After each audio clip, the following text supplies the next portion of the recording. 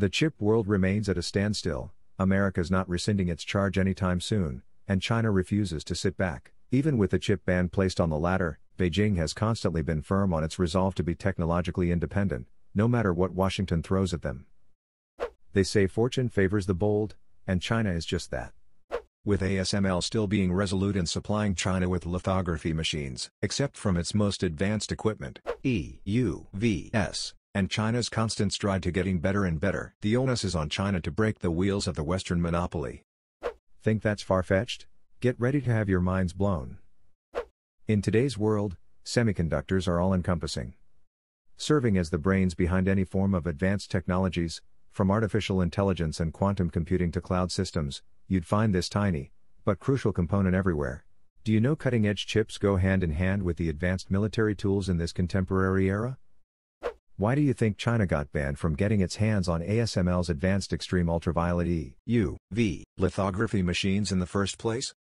Viewed as a threat to national security, Washington, led by Trump's administration, rolled out a series of measures to cripple Beijing and thus slow down its progress.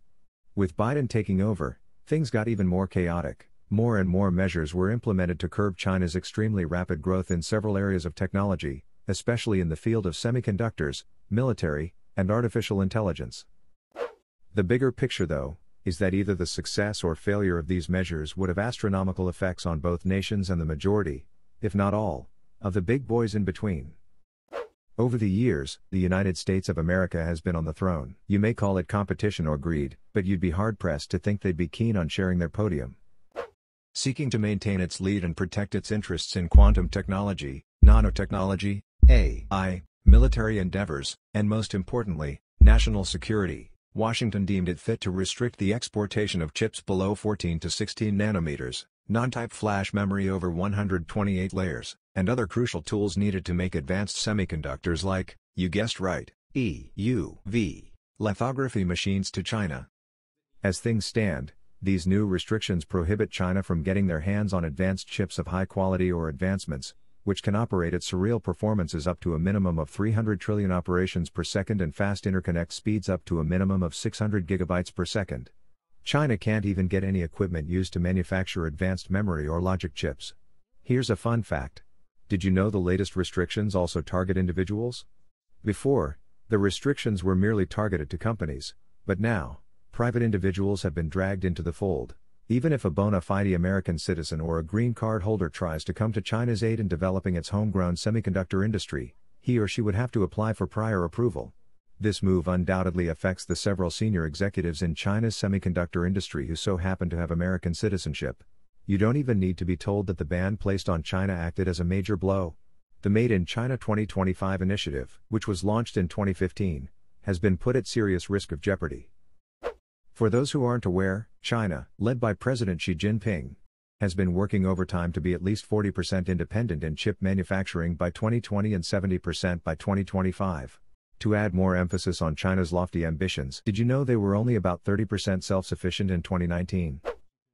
More than doubling one's self sufficiency in merely six years seems like a task too big for anyone to dare, but China simply isn't anyone.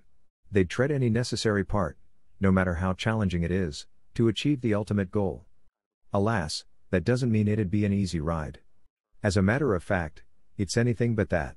Realistically, China still lacks a large research team in the field of semiconductors, and even more glaringly, China's semiconductor industry still lacks its innovation mechanism, for now.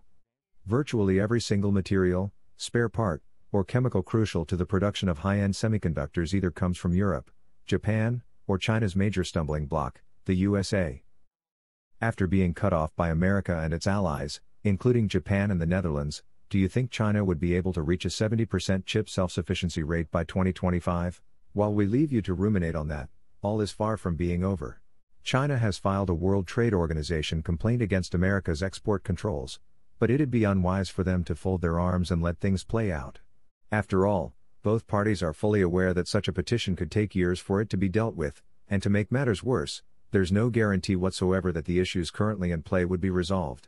In light of this, China needed to be more proactive, and boy have they been.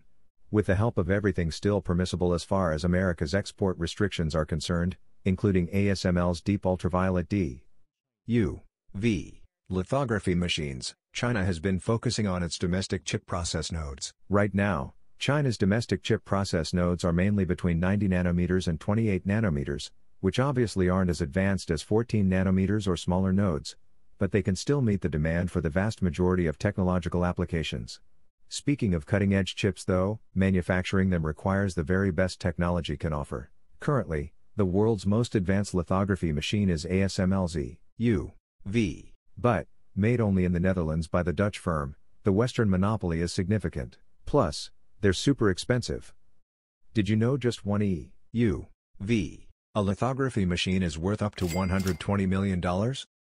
Most countries in the world wouldn't dream of buying one, and even if they had the means, it'd be impossible. Take China, for example, thanks to the restrictions, Chinese companies can't purchase one as it wouldn't be delivered. To overcome this, China's best bet is to make use of another asset from the same firm, DUVS. According to reports, ASML and China SMIC have signed a $1.2 billion order agreement regarding the firm's DUV lithography machines. Right now, the importance of ASML's assistance to China cannot be overstated. DUVS may not be close to EUVS in terms of advancements but take nothing away from it, it is still a capable beast. The good thing though is that China's relationship with ASML isn't one-sided. China may need the Dutch firm, but the reverse is still the case. ASML knows it can't let go of the Chinese market without putting up a worthy fight at the very least. According to ASML's financial report, the first quarter of this year saw a net sale of up to 4.4 billion euros. The new order is around 4.7 billion euros, and amongst that figure, up to 11 lithography machines were exported to mainland Chinese companies with the aim of assisting the development of Chinese chips. Considering the order increments, it's clear that China and ASML are inseparable, for now. In interpretation, China would continue shipping lithography machines to mainland China, or at least what they're allowed to. Whether or not the Dutch firm is keen on genuinely aiding China or after its finances, it still stands resolute in exporting its equipment to China, despite the stance of America and the Netherlands. Alas, China is walking on a rope. If things continue like this, the cycle will remain, and maybe even worse than before. China's entire semiconductor industry would completely depend on ASML lithography machines, and the Western monopoly would still be clear for all to see. Luckily, China is aware of this. The nation's goal of being at least 70% self sufficient by 2025 is still in the running. Right now, China has been working on several projects to give them the edge against America, with one of the notable mentions being photonic chips, a field where they remain head and shoulders above everyone else. The monopoly would be bound, battered down, and broken if the ultimate goal were achieved. Yin Jiao, the founder of China Micro Semiconductors, boldly insists China's semiconductor manufacturing field is merely 5 to 10 years behind the global stage. It's hard to say he's far from the truth. After all, with China continually pressing hard, the gap between China and the West would be bridged, just look at the current state of affairs. Right now, Huawei HiSilicon has achieved 5 nanometers research and development results and has successfully built the Kirin 9000 chip. Did you know Ziguang Zhanrui has designed a 6 nanometers chip, set to be mass produced and launched in July? SMIC is doing well in the 7 nanometers chip manufacturing technology field, and according to reports, Shanghai Microelectronics is set to deliver a 28 nanometers lithography machine. China is also nurturing the next generation of talents.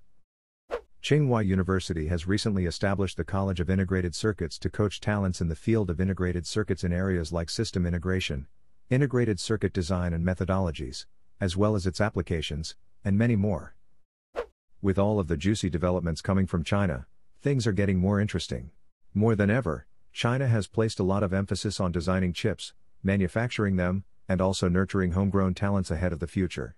With strong support from the government, including funding, it's only a matter of time before the Western monopoly finally gets shattered.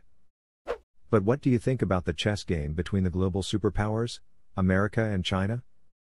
Do you think China could complete its self-sufficiency goal before the stipulated time frame creeps up on them, or do you perhaps feel it's a task not even China could accomplish? Let us know in the comments. See you there.